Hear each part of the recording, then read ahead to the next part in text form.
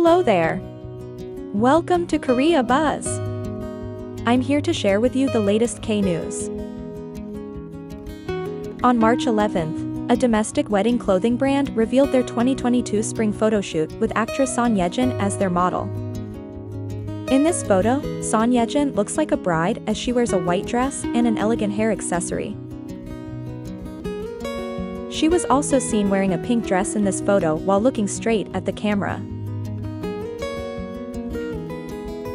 She also wore a beautiful tweed dress with a ribbon decoration.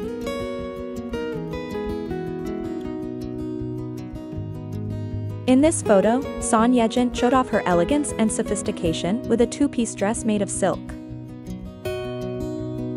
Meanwhile, the wedding ceremony of Son Yejin and Hyun Bin will be private and exclusive to the couple's close friends and families. However, there is no announcement of the official wedding date since they would like privacy from the public on the day of their marriage. The two A-list actors confirmed last year that they were in a relationship after working together in hit K-drama Crash Landing on You. Any thoughts you'd like to share? Let us know in the comments.